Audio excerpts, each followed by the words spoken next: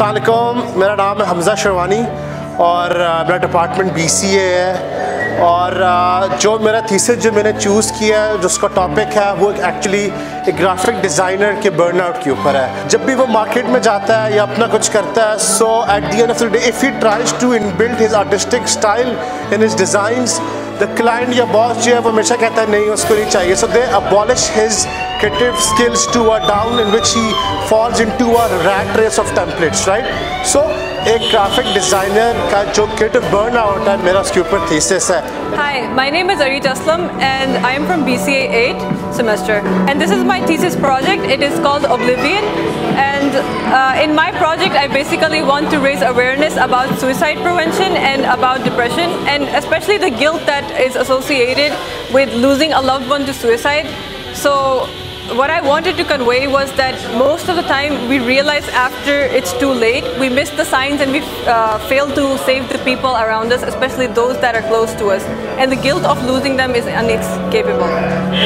असलम मेरा नाम उष्णा जन्नत है और मैं B C animation eighth semester की स्टूडेंट हूँ मेरा जो थीसिस है, उसका नाम है खामोश और इसका कंसेप्ट बेसिकली ये था कि वडेरा शाही कैसे हमारे कंट्री में एक टॉक्सिक कल्चर फैला रही है और जब तक हम ये खामोशी तोड़ेंगे नहीं, तब तक हमारी कंट्री में कोई चेंज नहीं आएगा। अल्लाम माय नेम इज़ रमीस और मेरी जो एनिमेटेड शॉर्ट फ़िल्म है, इसका नाम है the gleam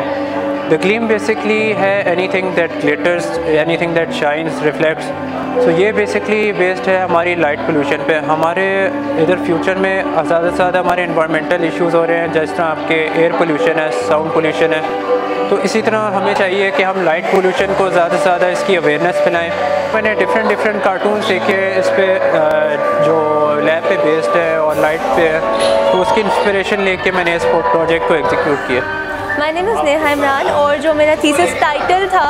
वो ये था कि राज फितना और the secret of conflict research हमारी इस बारे में थी कि जो हमारे आर्टिस्ट होते हैं, पाकिस्तानी आर्टिस्ट उनको इतनी रिकग्निशन नहीं मिलती, जिसकी वजह से वो लाइक यहाँ पर रहकर बाहर के लिए मतलब